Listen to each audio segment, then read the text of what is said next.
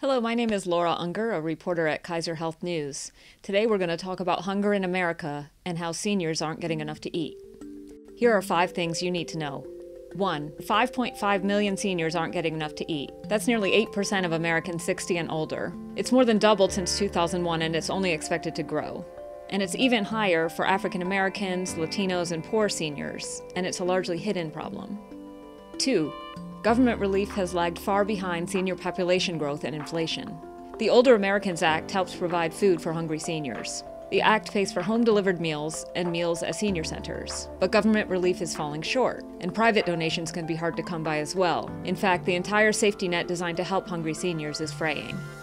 3. Malnutrition can make people sicker and prevent healing. Seniors without steady, nutritious meals can wind up in the hospital, driving up costs for Medicare and Medicaid. Seniors can end up back in the hospital even after they get out if they're not getting enough healthy food. And hunger can even kill. In one case in Cincinnati, a man starved to death in his freezing apartment. He weighed just over 100 pounds. 4. The Older Americans Act expires September 30th. Now Congress must decide what to do going forward. In June, the House voted to raise funding to $1 billion for next year. But when you look at inflation, that's still less than a decade ago. The Senate still needs to weigh in. It's unclear how much Congress will spend moving forward.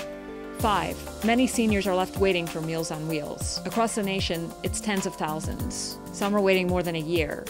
And this is happening in your community. It could be your mother, your father, your grandparents, your neighbors.